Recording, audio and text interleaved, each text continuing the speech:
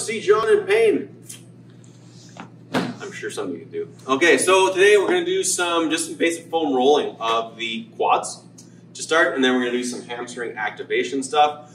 So really, what we what I mean is you're going to see me suffer here, and then you're going to watch me have cramps doing the hamstring activation stuff. It's going to be great for you guys and terrible for me, but hey, who doesn't like that? So for our quad rolling, um, we always want to keep in mind that there are four quads, okay? Mainly three of them that we are going to hit, okay? So you have VMO, your medialis, you have rectus, you have lateralis, and then there's intermedius, intermedius, intermedius.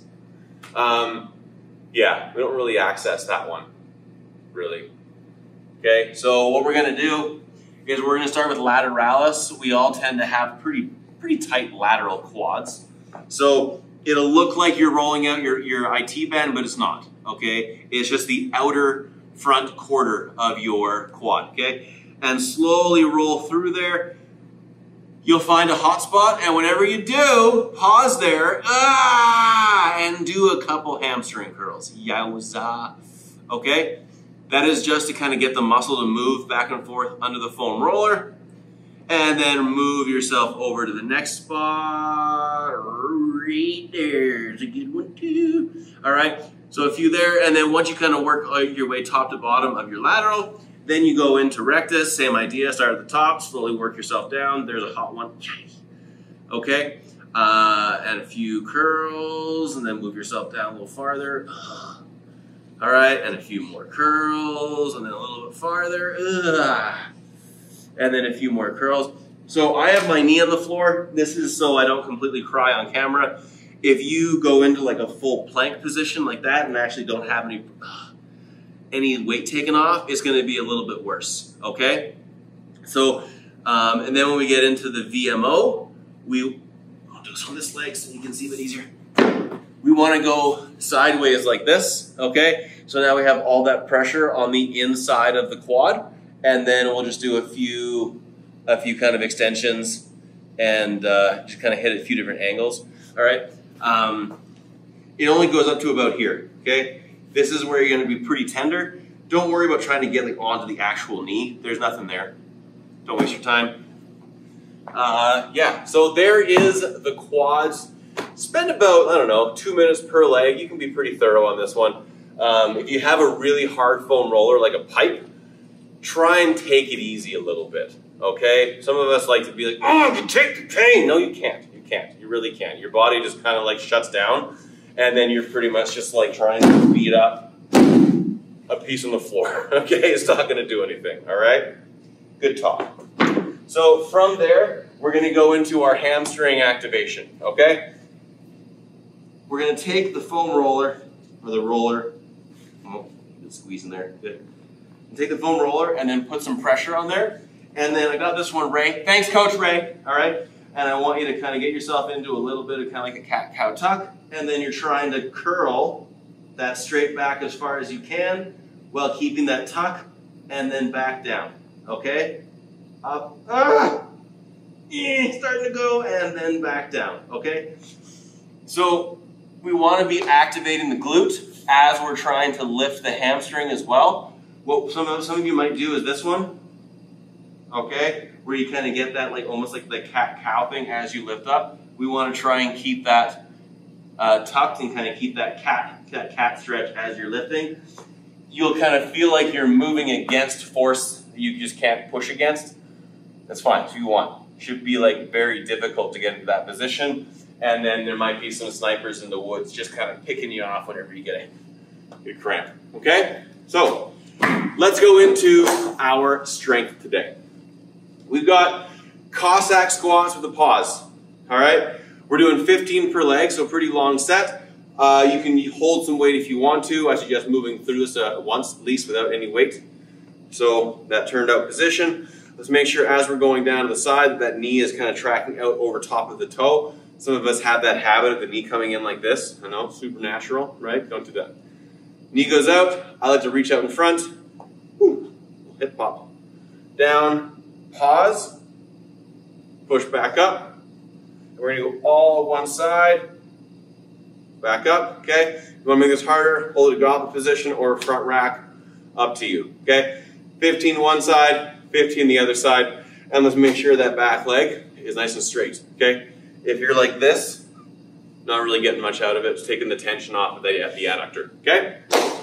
Uh, and then, single leg deadlift, all right, with a twist. Not really twisting, just an expression. So, one foot stays flat. We're trying to keep the foot nice and close to our body, and the roller is going on top of the foot that's moving. Okay? The idea behind this is so your body is moving as one unit. All right, so as we come down, it moves together. And as we come up, it moves together. So the shape of my body never changed. What we start to see sometimes when we do that, that kind of single leg deadlift is this one. All right? Or this one. Something weird like that. Okay? Second was an exaggeration. Only a couple people look like that, and you know who you are. Okay? Um, so this is going to help link the whole thing. If you don't have a foam roller home, that's fine. Use a broomstick. Broomstick actually is nicer because it sticks right out in front. And then you can kind of try and keep that 90 degree angle the whole way, okay? So down, and then pull back up, all right?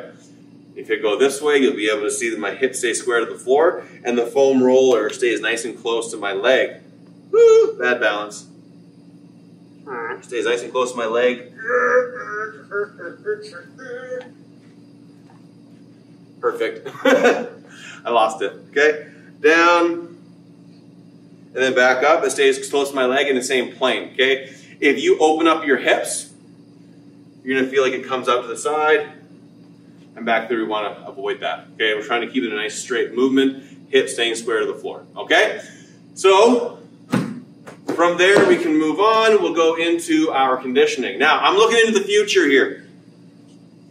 It's going to be nice outside which means you're going to go for a run. And if it's not nice outside, just ask Matt Pumphrey how he ran in minus 37 degree weather. It was probably colder than that. It looked terrible. Anyways, three rounds of an 8,000, just kidding, 800 meter run, 50 bicycles, okay?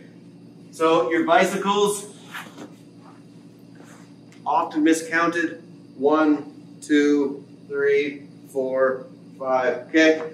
Let's try and make sure the knee comes up and the elbow reaches forward. This is a popular one. Woo, wow, I can do a thousand of these. Like, well, I can take a thousand steps too. Doesn't matter, okay?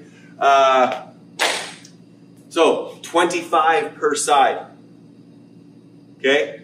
If you want to, if you want to be a real glutton for punishment, then you can just do 100, whatever. So, do you, you do you.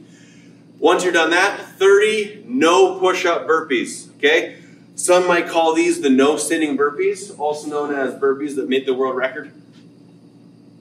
They're faster, okay? So down, out, and then back in, okay? When you're doing these ones, let's really try our best to land with flat feet, okay? So when you come down to here, you can drop your hips a little bit, but get that big hard pike to get yourself so your feet are flat when you stand up. Okay? I don't want to see these ones. Okay? Let's really try and use those abs, those hip flexors to pull ourselves up, driving the hips to the ceiling, pulling the feet in. Okay? Three rounds 850, 30. Okay? Get out there, guys. Have a great workout. Hopefully, it's not too cold outside, but at least you'll be warm because the heart rate will be up. All right, guys. See ya. Bye bye.